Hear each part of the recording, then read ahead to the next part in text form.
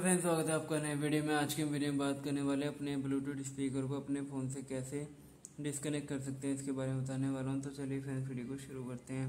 Video को शुरू करने से पहले अगर आप चैनल पर नए हैं तो चैनल को सबसे पहले वीडियो को लाइक कर दीजिए। फ्रेंड जैसे कि आप देख सकते हैं, मेरे पास ये वीवो का फ़ोन है और आपको सबसे पहले क्या करना है सेटिंग पर क्लिक करना है। तो क्लिक कर लेंगे।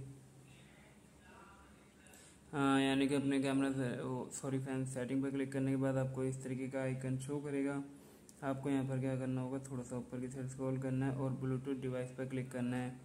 ब्लूटूथ डिवाइस पर क्लिक करने के बाद आपको इस तरीके का आइकन शो करेगा। आपको यहाँ पर क्या करना होगा ब्लूटूथ वाले ऑप्शन पर जाना है और आप देख सकते हैं मेरा जो जे का स्पीकर है, वो यहाँ पर कनेक्ट है। तो इसको डिसकनेक्ट करने के लिए हमें क्या करना होगा राइट साइड पर क्लिक करना है।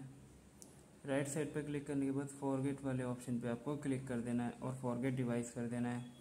और जैसे ही आप फॉरगेट डिवाइस कर देंगे तो आपको यहाँ पर स्पीकर जो है वो डिस्कनेक्ट हो जाएगा। तो हम यहाँ से इसे ऑफ़ कर देते हैं। तो उम्मीद है फ्रेंड्स वीडियो पसंद आएगी। वीडियो पसंद आए तो चैनल को सब्सक्राइब वीडियो को लाइक कर दीजिए। मिलते हैं नेक्स्ट वीडियो में, तब तक के लिए नमस्कार।